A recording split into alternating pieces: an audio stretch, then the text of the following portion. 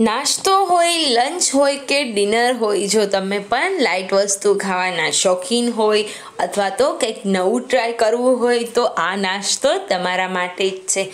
આ નાસ્તો સારો લાગે તો ચેનલને સબસ્ક્રાઈબ કરજો, બાજુમાં આપેલ બેલ બટન પ્રેસ કરજો અને બીજાને જરૂરથી શેર કરજો. તો આ યમ્મી એવો નાસ્તો બનાવવાની શરૂઆત કરીએ. આ નાસ્તો બનાવવા માટે મેં અઢીસો ગ્રામ જેટલો રવો લીધેલો છે. આ રવો એકદમ બારીક પણ નહીં અને વધારે જાડો પણ નહીં તેવો છે, તમે જોઈ શકો છો. દરેક વસ્તુને આપણે પહેલાં ચાળીને જ યુઝ કરીશું. રવો પણ મેં અહીંયા ચાળી લીધેલો છે. હવે એમાં આપણે સ્વાદ અનુસાર નમક એડ કરીશું. જો તમારા ઘરે છાશ ખાટી અવેલેબલ હોય તો આમાં આપણે એકથી દોઢ ગ્લાસ જેટલી ખાટી છાશ ઉમેરવાની છે. પણ જો ખાટી છાશ અવેલેબલ ના હોય તો થોડી એવી છાશ અને ઉપરથી લીંબુ એડ કરી દેવું. અને જો ઓછી હોય છાશ તો તમે આમાં પાણી પણ ઉમેરી શકો છો. બટ વધારે સારું ટેસ્ટ એકલી છાશ ઉમેરવાથી અને એ પણ ખાટી છાશ હશે તો સરસ આવશે. હવે આમાં આપણે ઉપર છાશ એડ થઈ જાય, બેટર એકદમ સરસ એવું ઢીલું, જેમ આપણે ઢોકળાનું ખીરું હોય એવું બની જાય એટલે રેસ્ટ આપીશું જે ઓલમોસ્ટ પંદરથી વીસ મિનિટ જેવો હશે. તો ઢાંકીને આપણે તેને સાઈડમાં રાખી દઈશું અઢીસો ગ્રામ જેટલો રવો હોય ત્યારે દોઢથી બે ગ્લાસ જેટલી છાશ જોશે અને સ્વાદ અનુસાર નમક. તો હવે હું આ બેટરને અડધી કલાક માટે સાઈડમાં રેસ્ટ આપવા મૂકી દઉં છું. આપણે હવે પહેલાં આદુ મરચાંની પેસ્ટ બનાવવાની છે, જેથી કરીને બેટરનો ટેસ્ટ ઓર સરસ આવે. મિક્સર જારમાં મેં બે ટુકડા નાના આદુના અને બે મરચાં લીધેલા, જેની આવી રીતની પેસ્ટ એડ કરી અને આપણે સરસ રીતના મિક્સ કરી દેવાનું છે. ઓલમોસ્ટ આપણે આ બેટરને રેસ્ટ આપેલો તે અડધી કલાક થઈ ગઈ છે. અને રવો પણ સરસ રીતના ફૂલી ગયો છે. જો આ તબક્કે એવું લાગે કે રવો બધી છાશ શોષી ગયું છે અને બેટર ઘાટું છે, તો અગેન આપણે અડધા ગ્લાસ જેટલું આમાં પાણી અથવા તો છાશ ઉમેરી અને બેટર સરસ રીતના લચકા પડતું થઈ જાય તેવું કરીશું. આ બેટરમાંથી એકદમ જાળીદાર આપણે નાની નાની ઇડલીઓ ઉતારવાની છે. તો તેના માટે આપણે ઇન્સ્ટન્ટલી આથો આપીશું.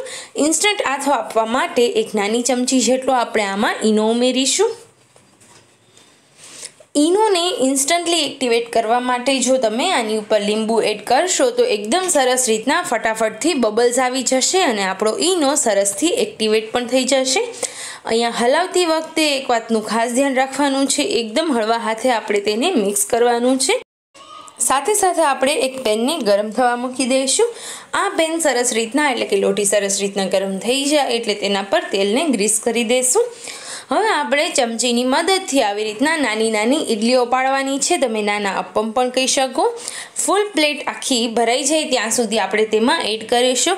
ઓલમોસ્ટ એકવારમાં જો નાની નાની ઇડલીઓ પાડશો તો આઠથી દસ ઓછામાં ઓછી ઉતરશે. આને બનતા ફક્ત બેથી ત્રણ જ મિનિટ થાય છે કારણ કે એકદમ આછી હોય છે. તમે સાઇઝમાં ફેરફાર પણ કરી શકો છો. જો આનાથી નાની બનાવવી હોય, તો એમ પણ કરી શકાય અને થોડી એવી મોટી બનાવવી હોય, તો એમ પણ કરી શકાય. હવે એકથી બે મિનિટ થઈ જાય એટલે આપણે તેની તમે ઉપર જોવો છો, એમ બબલ્સ આવતા જાય, એટલે સાઇડ ચેન્જ કરી લેશું. એકદમ સરસ રીતના આ નાસ્તો તમે એઝ ઇટ ઇઝ પણ ખાઈ શકો છો. જો એકલી આવી રીતની ઇડલીઓ ખાવી હોય, તો તમે ગ્રીન ચટણી સાથે, ટમેટા મરચાંની ચટણી સાથે અથવા તો સોસ સાથે પણ સર્વ કરી શકો છો. ઓછામાં ઓછા તેલમાં આ નાસ્તો હેલ્ધી અને ટેસ્ટી તો છે જ. સાથે સાથે ફટાફટથી બની પણ જાય છે. તો હવે બીજી સાઈડને એક જ મિનિટ જેવું થઈ જાય એટલે થોડું એવું તેલથી ગ્રીસ કરી લેશું. તો ટોટલ બેથી ત્રણ જ મિનિટમાં આપણા નાના નાના ઉત્પમ અથવા તો નાની નાની ઇડલી બનીને તૈયાર છે. તો આવી રીતના હવે આપણે બ્લોઢીમાં અગેન તેલથી ગ્રીસ કરી અને ઘણી બધી ઇડલીઓ એકસાથે બનાવી લઈએ. તો ચલો હવે આ ઇડલીનો વઘાર કઈ રીતના કરવાનો એ જોઈએ. તમે આને તવા ઢોકળા પણ કહી શકો છો. હવે અહીંયા મેં એક પેનમાં બેથી ત્રણ ચમચી જેટલું તેલ એડ કરી અને જીરાનો વઘાર કરેલો. જીરું એકદમ સરસ રીતના સોતે થઈ જાય એટલે અગેન થોડી એવી આપણે રાઈ મૂકીશું. રાઈ અને જીરું બંનેનું પ્રમાણ ઇક્વલ રાખવાનું છે. હવે સાથે સાથે આમાં એક તમાલપત્ર એક લાલ સૂકું મરચું. જો તમે લસણ ડુંગળી ખાતા હોય તો તમે એ બંને વસ્તુ એડ કરી શકો છો. મેં અત્યારે આઠથી દસ કડી લસણની જેને ઝીણી સમારીને અને એક ડુંગળી જેને પણ ઝીણી સમારીને એડ કરેલી છે. એક મોટી વાટકી જેટલા ટામેટાં જેને અગેન આવી રીતના ઝીણા સમારીને એડ કરેલા છે. લીલી ડુંગળીના પાન લઈશું સાથે સાથે એક વાટકી જેટલા કેપ્સિકમ લઈશું આ બધી વસ્તુ સરસ રીતના એડ થઈ જાય એટલે હલાવી લેવાની છે. અને તમે આને ઢાંકીને સરસ રીતના બેથી ત્રણ મિનિટ કૂક થવા દેવાનું. જેથી કરીને કેપ્સિકમ સહિત બધી વસ્તુ સરસ રીતના તેલમાં સોતે થઈ જાય. આ બધું શાક સરસ રીતના બેથી ત્રણ મિનિટમાં સોતે થઈ ગયું છે. તો રેગ્યુલર મસાલાઓ કરી લઈએ. સૌથી પહેલાં આપણે આમાં સ્વાદ અનુસાર નમક ઉમેરીશું. આપણે ઇડલી બનાવતી વખતે કે ઢોકળા બનાવતી વખતે નમક એડ કરેલું જ છે. એટલે મસાલો ફક્ત અને ફક્ત આ વેજીટેબલ્સ પૂરતો જ ઉમેરવાનો છે. ત્યારબાદ હળદર, ચટણી, ધાણા જીરું અને લીંબુ ઉમેરીશું. સાથે સાથે જો તમે ગળાશ પસંદ કરતા હોય તો અડધી ચમચી જેટલી ગળાશ પણ ઉમેરીશું. અને આ તવા ઢોકળાનો ટેસ્ટ.